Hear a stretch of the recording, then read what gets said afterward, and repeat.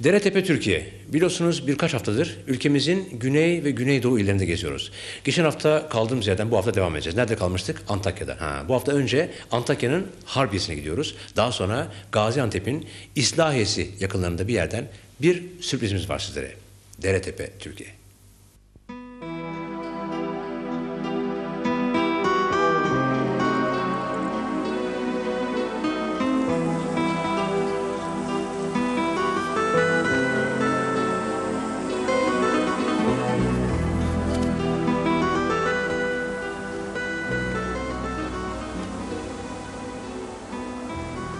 Burası bugün Harbiye ismiyle bilinen eski Defne ya da Dafne. Burası cennetten bir köşe. Hatay'ın mesire yeri. Şırıl şırıl akan şelaleleri, kuş sesleri, binlerce ama binlerce ağaçlarıyla cennetten bir köşe burası. Ağaçların arasında bir tanesi var ki çok önemli. Defne. Yani yöreye adını veren ağaç. Bir de şelale. Bunlar çok önemli. Sizlere küçük bir öykü anlatacağım sıkmazsam. Ben derim ki bir öyküyü, bir masalı anlatmanın en güzel yolu o öykünün, o olayın geçtiği yere gidip yerinde görmek, yerinde anlatmak. İşte onun için sizleri buraya kadar yordum. Harbiye'ye ya da Defne'ye veya Dafne'ye hoş geldiniz. Yöreye adını veren Defne, Olimpos'un en güzel kızı. Hazin bir aşk öyküsü var. Defne, Zeus ve Hera'nın kızı. Güzelliği öylesine dillere destan olmuş ki aşk tanrısı Apollon bu güzel kızın kalbini çalmaya karar vermiş. İyi de Defne'nin gönlü yokmuş Apollon'a. Zorla güzellik olmaz ki. Bunalmış sonunda Apollon'un baskılarından ve kaçmış. Akdeniz'i aşmış önce Kıbrıs'a gelmiş. Apollon peşinden tabii. Tekrar yoluna devam etmiş Defne. Kaça kaça sonunda işte buraya kadar gelmiş. Tabii Apollon yine peşinde. Sık ormanlar arasındaki bu kovalamaca günler boyu sürmüş. Günler boyu. Defne önde, Apollon arkada. Ve sonunda işte burada, tam şurada Apollon Defne'yi yakalamaya muvaffak olmuş. Tam şurada. Ve Defne birden yakarmış tanrılara. Kurtarın beni diye. Ve hikayenin anlattığına göre Defne o anda bir ağaca dönüşmüş. İşte şu ağaca. Defne ağacına. Ve Apollon çok sevdiği bu kıza değil ancak bu ağaca sarılabilmiş. Defne'nin kokusunu bilirsiniz. Mis gibidir. Apollon elinden kaçırdığı bu güzelin kokusunu ciğerine çektikten sonra bir de beddua savurmuş. Bana yar olmadın, benden kaçtın ama sen de kimseye yar olma. Meyvanı kimse yiyemesin ama kokun dünyanın en güzel kokusu olsun. Gerçekten de Defne'nin meyvesi kimselere yar olmadı. Defne'nin meyvesi yenmez ama kokusu dünyanın en güzel kokularından biri. Defne'nin hazin öyküsü böyle sona eriyor. Şelaleye gelince sevdiğine kavuşamayan Apollon hınçla elindeki su matarasını yere vurur. Ve işte oracıkta bir pınar fışkırır. Derler ki Harbiye'deki bu şelale işte Ap- Apollon'un o matarasını vurduğu yerden fışkırmaktadır. Bir başka inanışa göre ise bu şelale Defne'nin gözyaşlarıdır. Öyle veya böyle. Hazin fakat çok güzel bir öykü. Ee, ne de olsa delikanlı yüreği içimiz el vermedi. Biz asırlar sonra bile olsa Apollon'a bir iyilik yapalım dedik. Hiç olmadık. Apollon'un suyuna Defne'nin kimselere yar olmayan meyvesi kavuşsun istedik.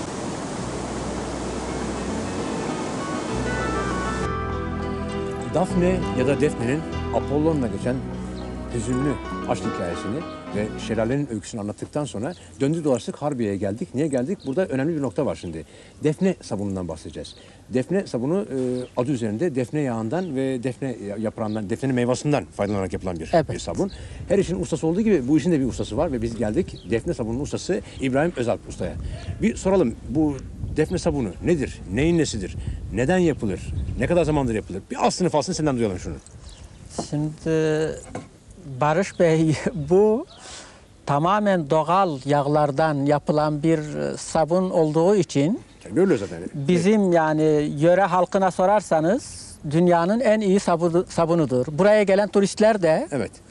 e, bundan işte kalıp kalıp alarak şey ediyorlar, götürüyorlar ve bunu alan bir daha Başka sabun başka sabun kullanmıyor ve tekrar artık e, istiyor bundan.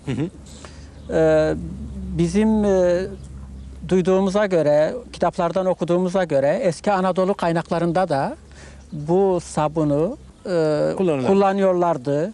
Kadınlar güzelleşmek için, erkekler daha sağlıklı, daha e, daha iyi için bunu kullanıyorlardı. yani. bunu kullanıyorlardı. Doğru yani. Defne yağı var, zeytinyağı var, Bir sut kostik var. O herhalde kimyevi bir. Evet karışım. yalnız daha önce bu külden e, O da doğalmış yani e, zamanında. külle yapılıyordu. Onun yerine şimdi Bunun su yerine- kostik var. evet. Bir şey de değiştirmem. Ee, şimdi açık konuşmak gerekirse ben bir itirafta bulunayım. Ben e, Defne sabununu 20 yıldır tanıyorum. E, laf aramızda kalsın. Sık sık kullanıyorum. Aramızda kalsın. Şu anda 50 milyon bizi izliyor ama gene de aramızda kalsın yani. E, Şimdi ben bilhassa bunu size tavsiye edeceğim. E, Çünkü saçlarınız e, sizin bir nevi simgeniz. Tabii. Geç kaldım. Ben bunu 20 yıldır kullanıyorum zaten. aramızda kalsın dedim ya biraz önce. Bunu ben tahmin etmiştim. Tabii tabii. Ee, gerçekten e, tamamen doğal maddelerden olduğu için e, çok kıymetli. Kokusu nefis. Zaten bir sabun deyince aklına geliyor? Köpüğü ve kokusu. Köpüğünü ve kokusunu zannederim E, Defne yağından. defne yağına borçlu. Zaten gelenek kalıyor ki kokusu yerinde, köpüğü yerinde, mis gibi bir sabun. E, usta ellerde yapınca da gayet de güzel oluyor. Benden tavsiyesi. Sanırım e, programımızı izleyen milyonlar, diğer milyonlar da bunu tavsiye ederse önce ülke çapında sonra dünya çapında duyulur. Daha çok tanınır defne sabunu. Bilinsin Evet. istiyorum doğrusu. Evet. E, Bu belki de önemli ihraç mallarımızdan biri olabilir. Aa bir de işin o tarafı var. Belki bir döviz kaynağı da olur diyorsun. Evet. Olur mu olur. Biz verdiği bilgiler için sevgili Özal Ustamıza teşekkür ediyoruz. Sağ olasın. Teşekkür ederim. Sağ olun.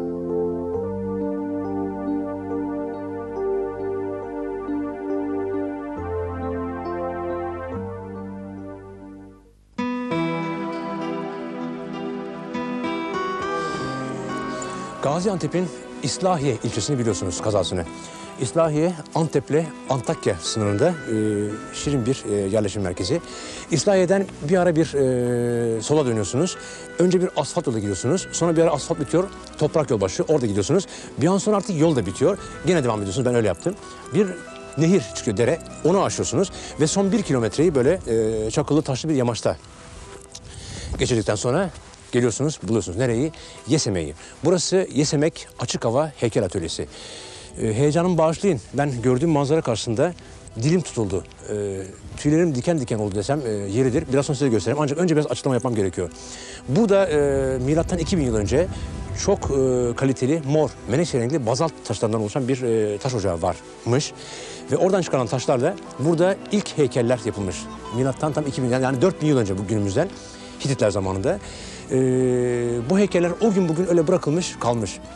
Biz e, burayı ilk kez görmenin mutluluğunu yaşadığımız gibi ilk kez göstermenin mutluluğunu sizlerle paylaşmak istiyoruz. Gönül istiyor ki ilgililer meslemek üzerine eğilsinler ve burası önümüzdeki 89 turizm sezonunda bir patlama, bir bomba olsun ulusumuz için, ülkemiz için zannediyorum ve değer.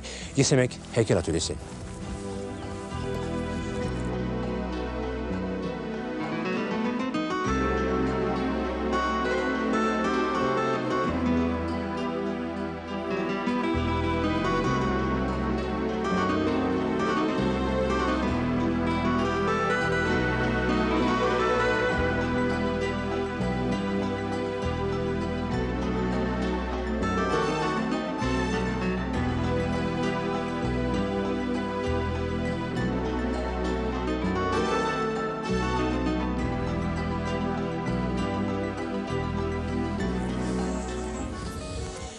Yesemek Açık Hava Heykel Atölyesi'nde tam 300'ün üzerinde yontu taslağı var. Yanlış duymadınız. Tam 300'ün üzerinde heykel. İşte başlandığı şekilde bırakılmış gitmiş. Burası Hititler döneminde Şupbiluriyuma devrinde e, işletmeye açılmış. Daha sonra e, milattan önce zannediyorum e, 8. yüzyılda Asurlar zamanında terk edilmiş. Sonra tekrar Frigyalılar döneminde biraz çalışılmış. Fakat e, o gün bugün bırakılmış. Özellikle aslan kafalı, ayı kafalı ve çeşitli hayvan kafaları fakat insan vücudu üzerine oturtulmuş kafalı olan e, bazı heykeller de var burada. E, dediğim gibi hepsi taslak halinde kalmış. E, tabii bahsettiğim heykeller 4000 yıldan bugüne doğaya karşı dayanabilmiş heykeller. Daha doğrusu heykel taslakları. Yarı tamamlanmış bir vaziyette terk edilmiş bir Sphinx projesi.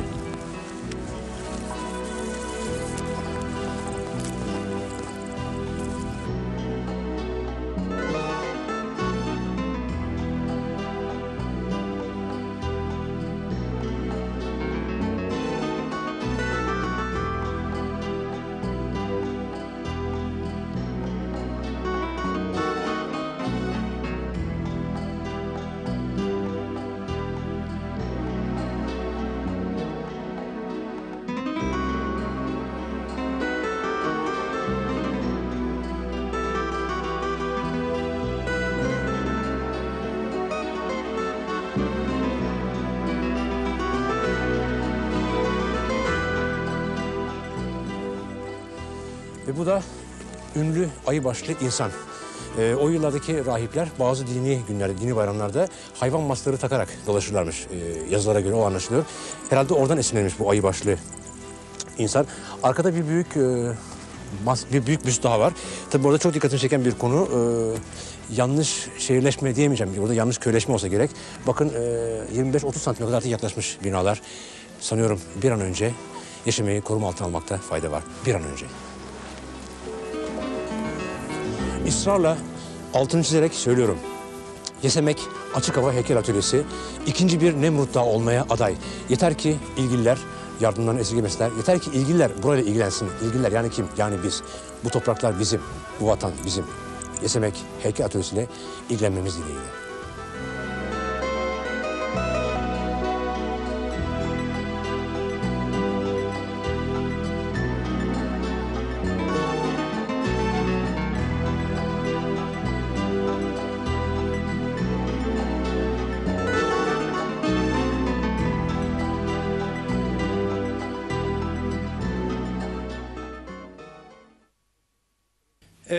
Dere tepe Türkiye bu. Öyle kasaba kasaba, köy köy gezmekle biter mi? Köy deyip geçmeyin. Ülkemizde biliyorsunuz 40 binin çok üzerinde köy var.